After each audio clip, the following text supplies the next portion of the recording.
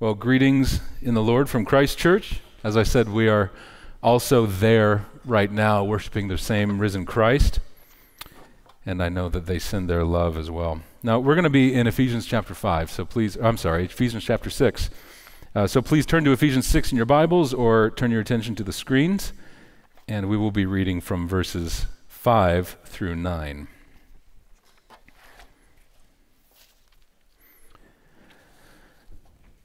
Ephesians chapter 6, verses 5 through 9. Starting in verse 5 Bondservants, obey your earthly masters with fear and trembling, with a sincere heart, as you would Christ.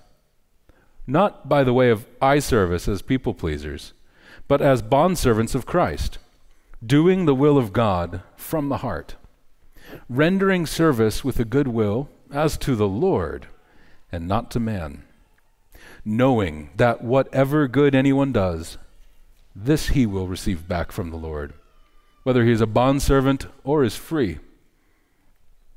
Masters, do the same to them. And stop your threatening, knowing that he who is both their master and yours is in heaven, and that there is no partiality with him. This is the word of God. Thanks be to God. I, I know TJ is preaching in Alabama, but I hope that he catches up the live stream later. And I just want to say thank you, TJ, for inviting me to preach and giving me a passage on slavery. And we'd like to um, formally invite you to preach at Christ Church on the Song of Solomon anytime you want, because turnabout is fair play. Now, by way of introduction, and I don't mean to start kind of cheekily because this is a serious thing. By way of introduction, I do want to address some of the big questions that are going to be in a lot of our minds, and in some of our minds more than others. And I want to kind of not get those out of the way, not dismiss them, but understand them so that we can be ministered to by God's word without distraction. So, the first thing that we need to know is that Paul is talking here about slaves and masters. The word in English in this version is translated bond servants. It's the word doulos, it's the word everywhere used for slave. So, first century slavery has more in common with 21st century employment than it does with the chattel slave trade from America. But it's still slavery. And I know that's going to hit different for some of us. I know. So, what I want to say is that there's something relatable in this for us. If it's like employment, then there's something we can relate to, but there's also something detestable in this. This is Paul engaging with a social institution that he dislikes in the Lord, that he despises in the Lord. And Paul, too, wants to see it wither by the power of the gospel.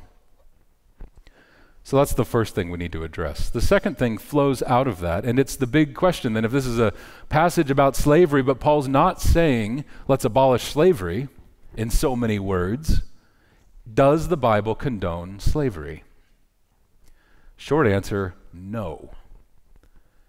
Medium answer the Bible actually condemns slavery but it does it in the same inside out way that Jesus condemns sin.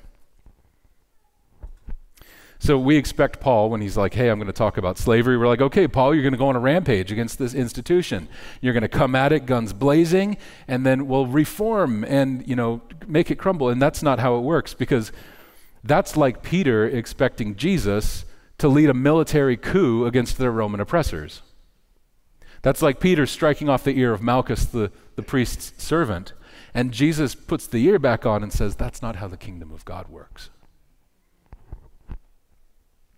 Social transformation that we want and that Paul wants and that Jesus wants, the refining or the overturning of faulty or evil human institutions, it does not start with military action and it does not start with social agendas or politics.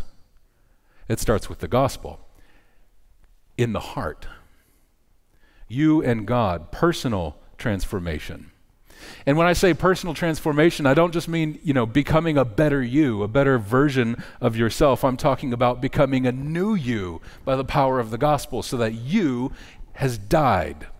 And now you in Christ are alive by faith. That's what I'm talking about. And when that is true of you, when you can say with Paul, I have been crucified with Christ, it's no longer I who live, but Christ who lives in me, then the way that you live is totally different. It spills out into your relationships. It seeps into the social institutions of which you are a part. And it transforms them.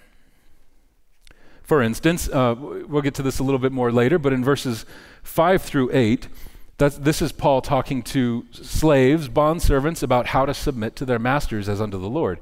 And then here in verse 9, he says, Masters, do the same. Whoa. Masters are also to, to, submit. The gospel does such a thing in the heart of the Christian servant and of the Christian master that they start to submit to each other. And no institution like slavery can withstand that for long. Paul here is sowing the gospel seeds that will erode the foundation of this corrupt institution. Now, those of you who've been around these past weeks in the Ephesians series will know that the first three chapters of Ephesians are just drenched in the gospel.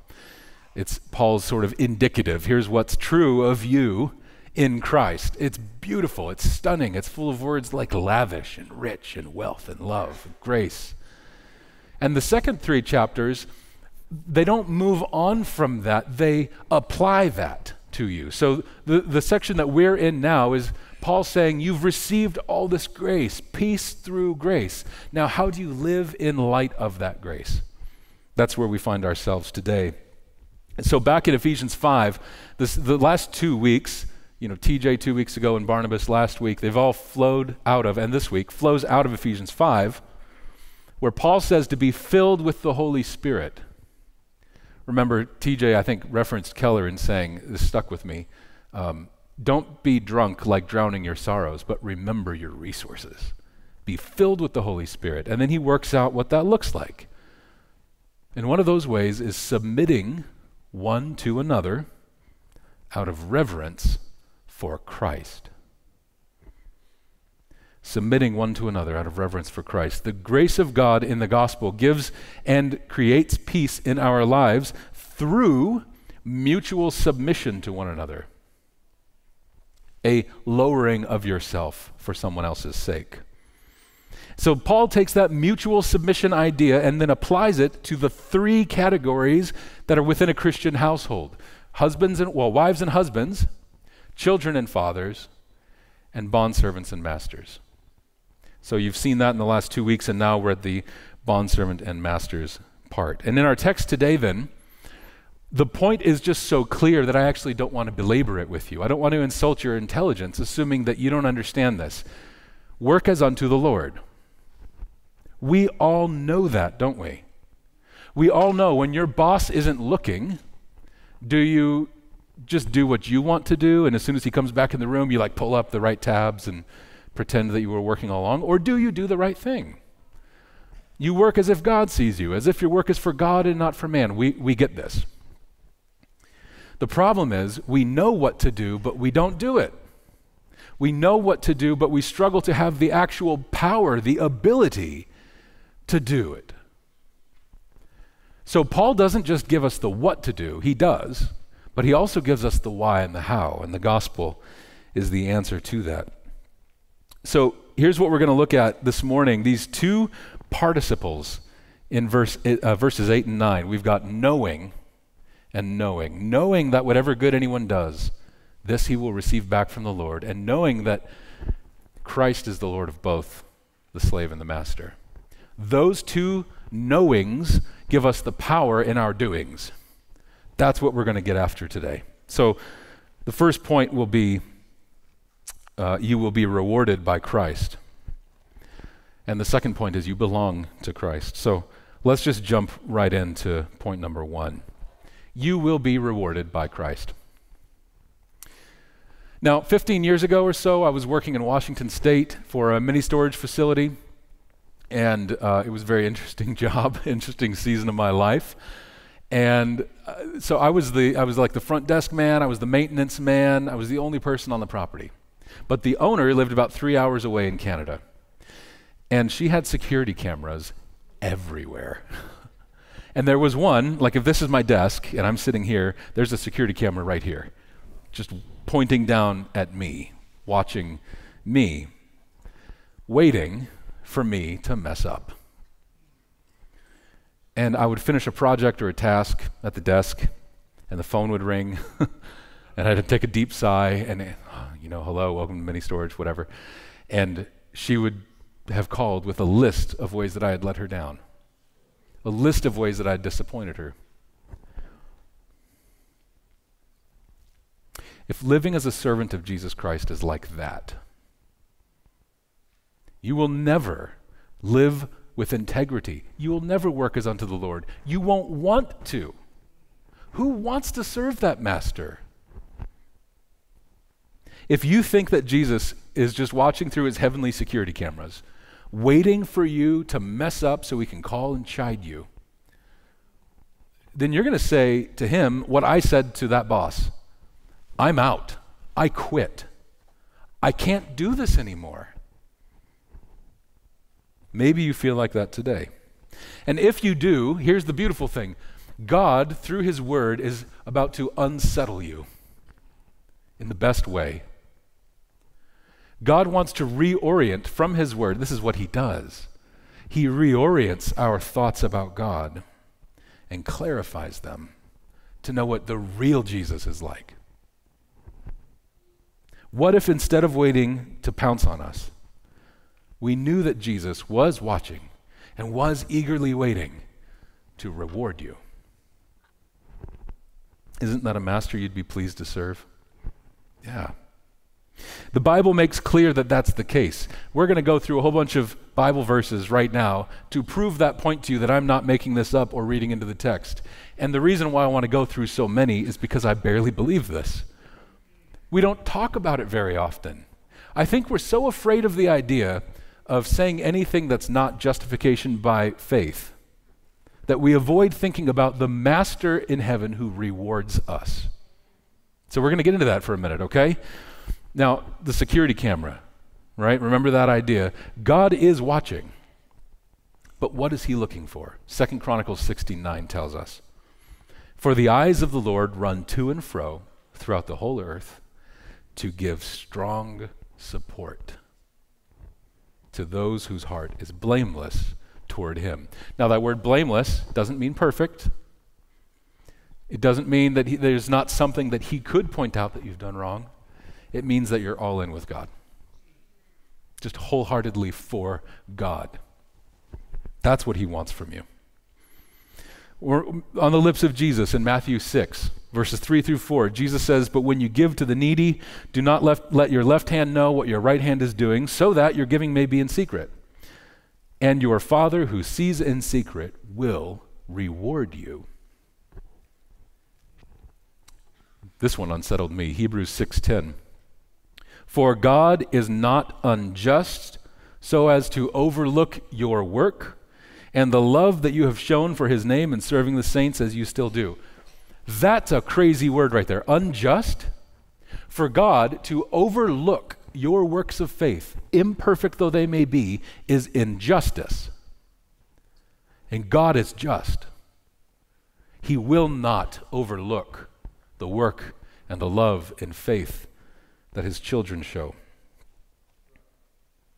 Luke 6:35 Jesus says, "But love your enemies and do good and lend expecting nothing in return, and your reward will be great. Not mediocre, great. Romans 2 9 through 11. There will be tribulation and distress for every human being who does evil, the Jew first and also the Greek, but glory and honor and peace for everyone who does good, the Jew first and also the Greek, for God shows no partiality. I could go on. There's a bunch more, but I think you get the picture. Christ rewards his servants. But that doesn't mean that we can merit, earn, or deserve salvation. Just be very clear. We can never do enough good deeds. You can't pile that stack of good things high enough to get to heaven. That's not how this works. But when you receive Jesus' substitutionary death for you as your death, was crucified with Christ. And when you receive his life as your life, it's no longer I who live, but Christ who lives in me. Then you are adopted as a child of God. And because you're in Christ, you're rewarded. All those unseen, thankless things that you might do are seen. You're rewarded, imperfect though it may be. My oldest daughter, Catherine, uh, she's just about to turn eight. She loves to cook. I love to cook, so it's a sweet way that we connect together. And her, one of her favorite things is the breakfast table and, and cooking breakfast for the family. And so she'll often cook scrambled eggs. And if you're a parent, then you know that eating eggs that a child has made is, is something like walking through a minefield because you never know when you're going to get that crunch. You know, the eggshell in those eggs. But imagine that you go to a restaurant and you, you order scrambled eggs, and they come, and you've just paid $24 or something for your scrambled eggs and, you know, avocado toast, and it comes with eggshell in the eggs. You're going to send that back. And then let's say it comes out again and there's eggshell again. How many times until you say, I'm literally never coming back here? Or I'm going to leave a scathing review on Yelp or whatever, however you respond to those situations. Your relationship with the restaurant will change or end because it's a consumer relationship. You give them money, they give you eggs. That's how this works. But what if your daughter brings you the eggs? Here's what you're going to do you're going to look her in the eye, you're going to pick out the eggshells, and you're going to say, These are fantastic. Thank you. Good job.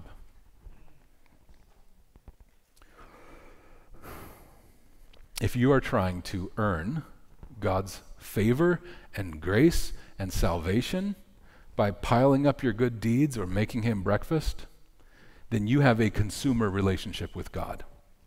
And you have not yet encountered the grace of Christ. But if you have received what Jesus did for you, the humbling of the Master of Heaven, down into death, if you've received that by faith, then you're a child of God. And Jesus has picked all the imperfections out of your works, and he looks you in the eye and says, Well done, good and faithful servant.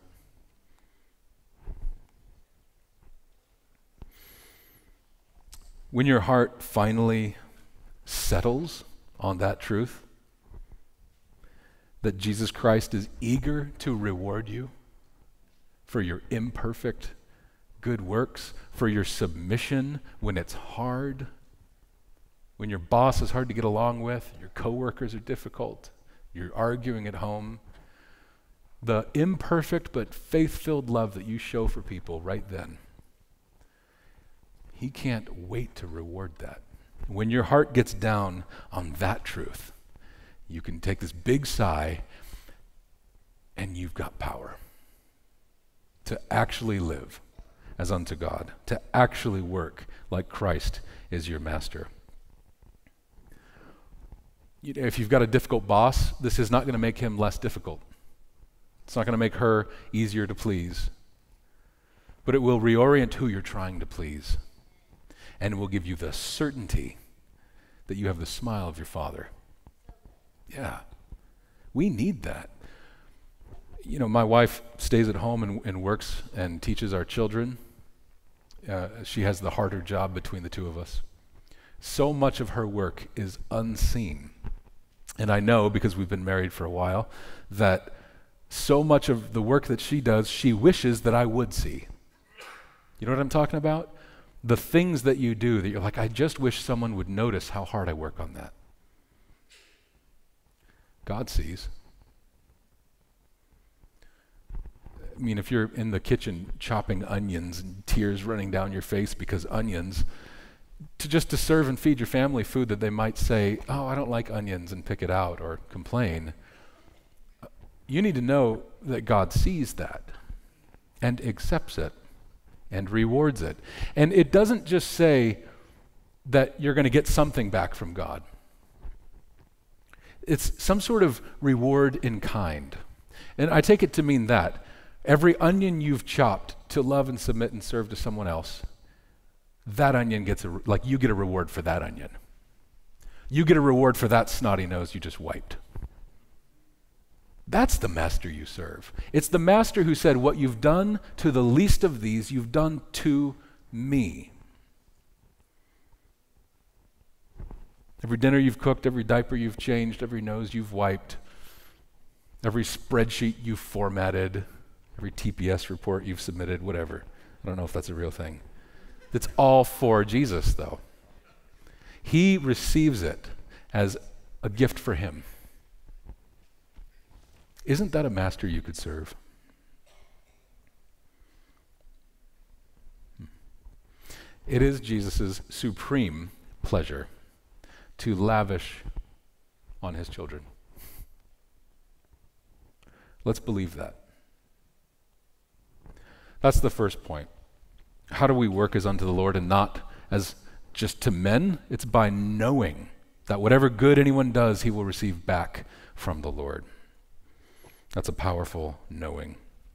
Point number two you belong to Christ. To land the plane on this final point, which is the lordship of Jesus, that's what we're really talking about today. We need to see a couple things from the text. And first of all, I want you to know that this word masters here is the same word for the word Lord. They're both kurios, okay? So it hits a little different when you're reading it, and, and it's talking about the Lord Jesus and the Lord of this house. Paul is saying to the lords of the households, you, you don't get to treat your bondservants however you want because you both have a Lord. And it's the same Lord. Jesus is your Lord. And when the glory of the Lord, which is revealed most profoundly at the cross of Christ, when the glory of God appears, Isaiah 40 says, the mountains will be made low, and the valleys will be lifted up. In other words, the glory of God is the great leveler of humanity.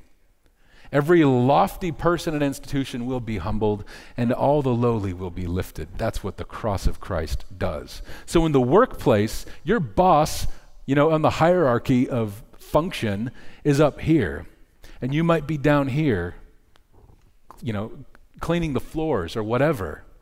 And in Christ, your brothers and sisters.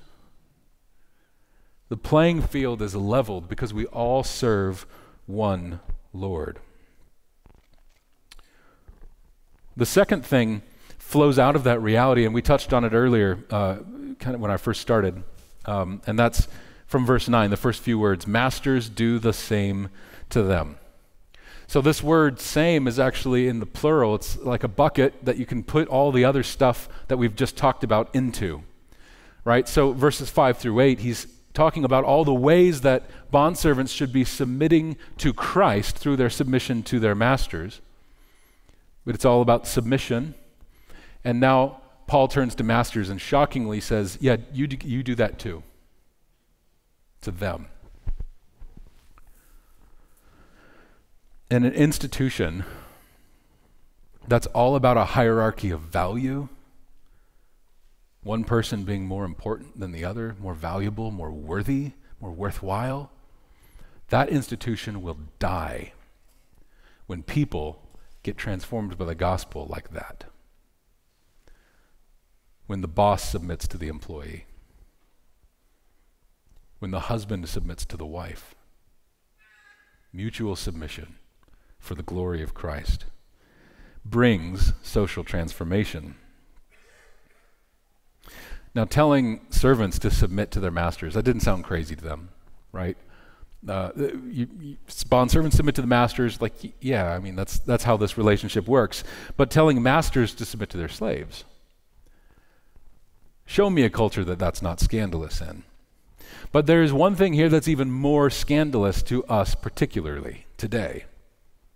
more offensive to our sensitivities than maybe it ever has been in history. And that's the truth that you belong to someone. You belong to Christ. You might say, I'm an American. Nobody owns me. I'm a free man. I make my own way, right? Not if you're a Christian. If you're a Christian, you're a citizen of heaven before you're a citizen of the U.S. And your freedom is found in slavery to Christ. In his service is perfect freedom. That's why we say that my one comfort in life and death is that I am not my own, but belong to God.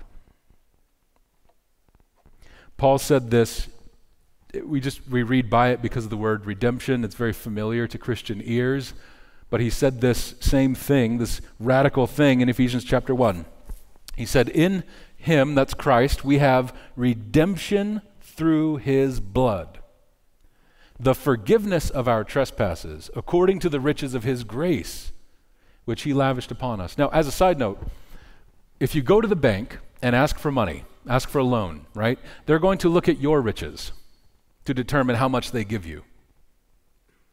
Right? Do you have equity? What are your assets?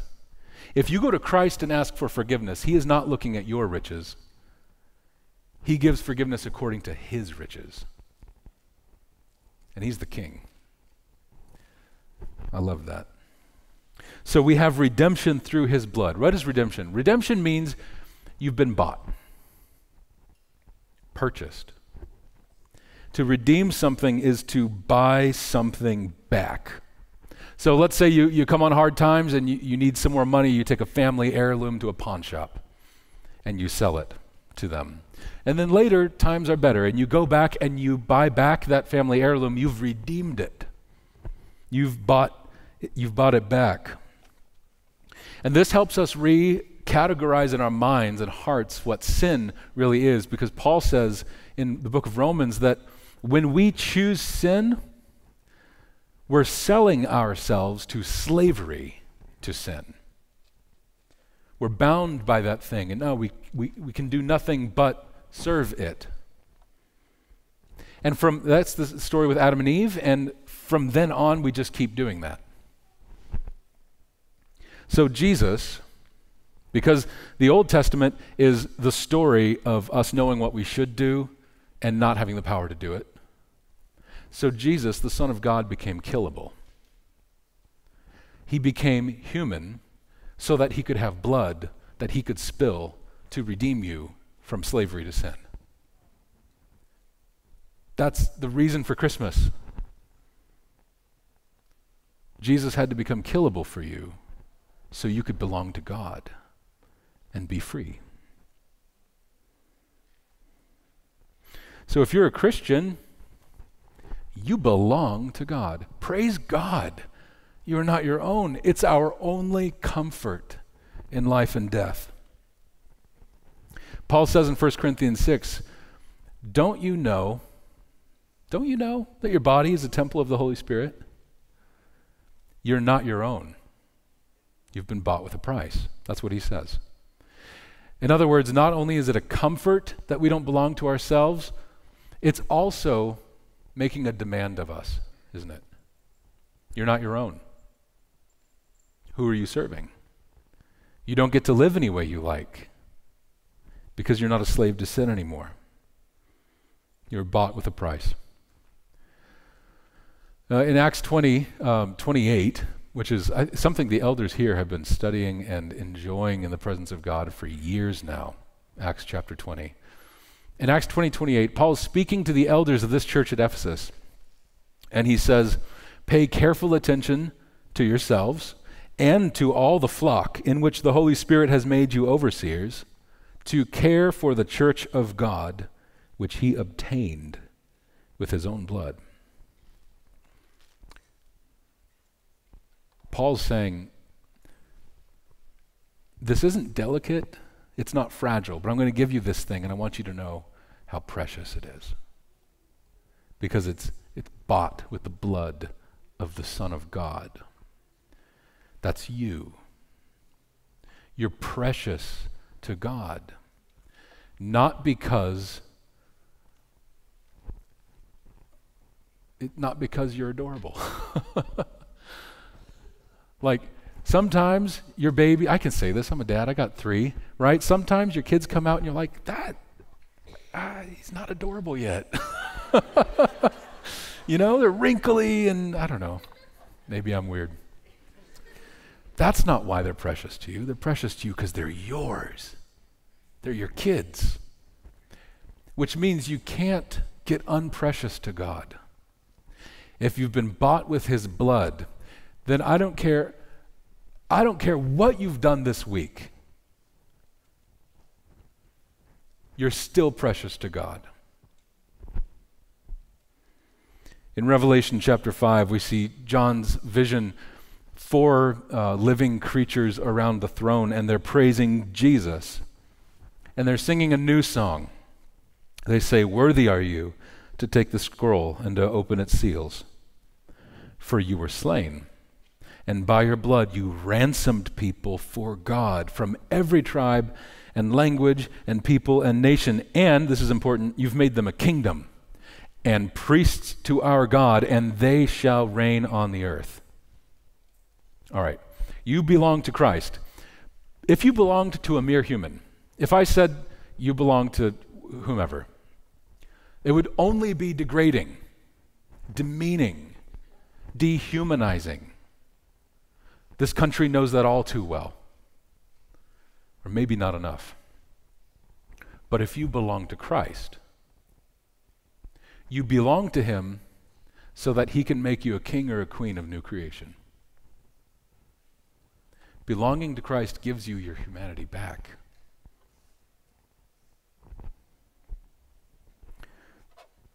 Jesus, the divine, eternal, glorious Son of God, put on flesh and became killable for you, to redeem you, to buy you back from slavery for God. And so now the Spirit of Jesus, this same Jesus, is saying to us through Paul, no matter who you are in life, submit to one another. And we don't just have, you know, I don't, I'm convinced in the Bible we don't really get commands from God that He's not willing to do Himself. So, what gave God the right to say this to us?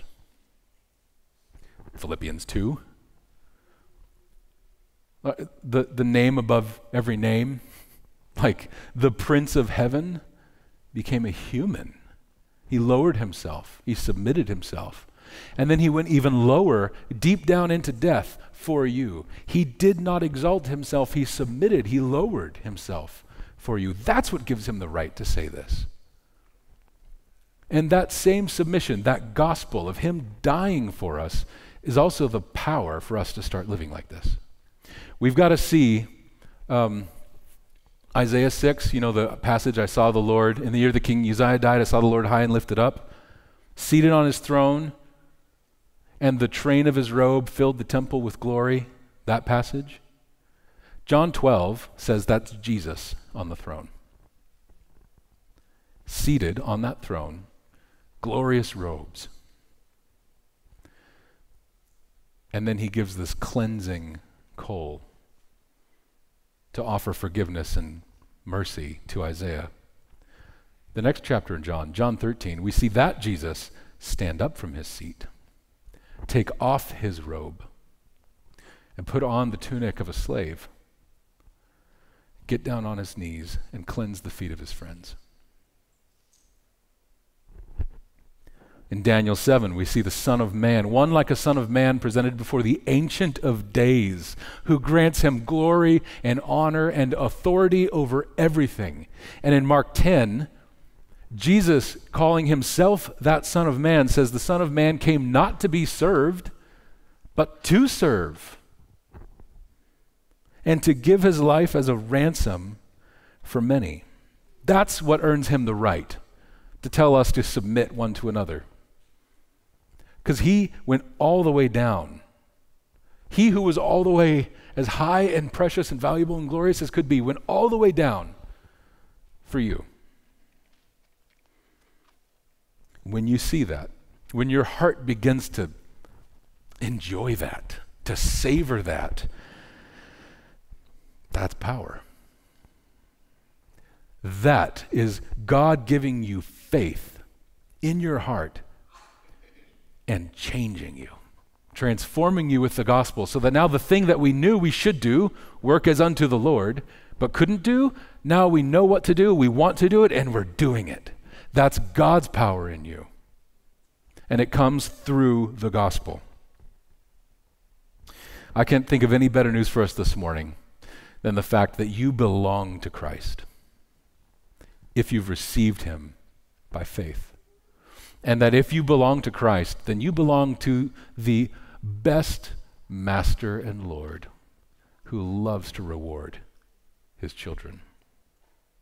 And so, in this confession is all of our life, it's all of our dignity, it's all of our joy, it's all of our hope. Jesus is Lord. We confess it with our mouths, we believe it in our hearts, and we're saved. Some of you are wearing shirts that say this right now. You got to serve somebody, right? Bob Dylan. And he's right.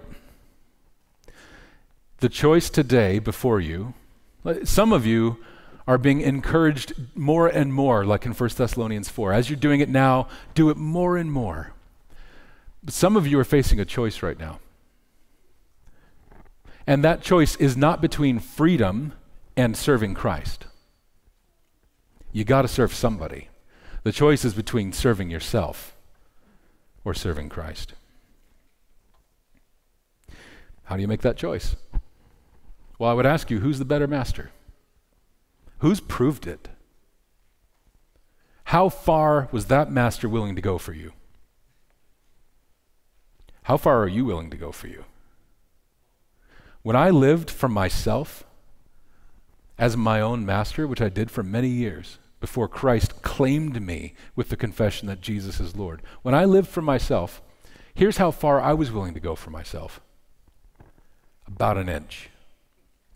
I knew the things I needed to do to be healthy, to flourish, and I still didn't do them. Because we make terrible masters of ourselves. But Christ gave himself up all the way to win you all the way. He's a better master. Let me end with this. In the 2002 movie uh, adaptation of The Count of Monte Cristo, have you all seen that? Jim Caviezel's in it. Uh, it's, a, it's a great movie, even better book. So the main character's name is Edmund, and he, is, he lands on this beach, and he encounters a condemned, chained thief named Jacopo. And Edmund basically says to the guy who chained up Jacopo and condemned him, All right, uh, how about how about I fight him? And if I win, you know, he give, he basically barters. And he, he fights with Jacopo and he does win. And then he demands mercy for the man. He demands freedom. Edmund lives out the gospel to Jacopo. And if you know the movie, then you'll know the scene. Jacopo grabs him by the beard and pulls him close and says, I am your man forever. When you see the mercy and the freedom that Christ has won for you, what other response is there? I'm your man. That's what the gospel does. If you haven't seen that, if you haven't apprehended the mercy of God in Christ, then ignore all the, you know, how to live stuff that we just talked about. You won't be able to. You won't want to. And hear this the King of the universe is also the Lamb of God who was slain for you. And that's the power. That's the power of the gospel. Let me pray. Heavenly Father, I thank you for sending your Son to free us. Thanks for loving us enough to want us even when we were so unwantable, where we did nothing to endear ourselves to you. We did nothing but reject you, and you still, you gave Jesus. And Lord Jesus, you bled for us. I'm just, I'm kind of in awe. And uh, Lord, there are people in this room who probably don't know you at all, and who probably don't even feel like they're enslaved to anything. And I would ask you for your glory and for their joy and for our joy to free them and to open their eyes and to pour the love that you have for them into their hearts by your Spirit, to give them faith and make them come alive. Because we love them and we don't want to go to you without them. Would you do it for your glory? Amen.